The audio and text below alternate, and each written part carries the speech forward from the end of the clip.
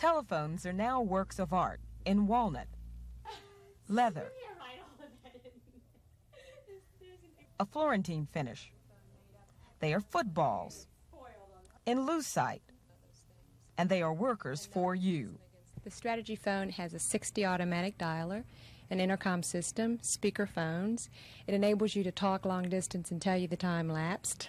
And it has one of the most unique features in telephones, a security button which you push and no one else can listen in on your conversations. It locks in the call for you. Is there anything this phone can't do? Well, it doesn't wake you up in the morning yet. This may look like a walkie-talkie, but it's really a phone. It's a cordless phone. It's great for using around the pool if you want to keep in touch with folks. All you have to do is turn it on and dial. There's a phone for the doodler and for the child in you. The phones cost from $59 to $495. Now, these phones are expensive. How can you justify the cost? You think in terms of leasing a telephone, and the Princess, uh, which is now called the Trimline, leases for about $5.16 a month.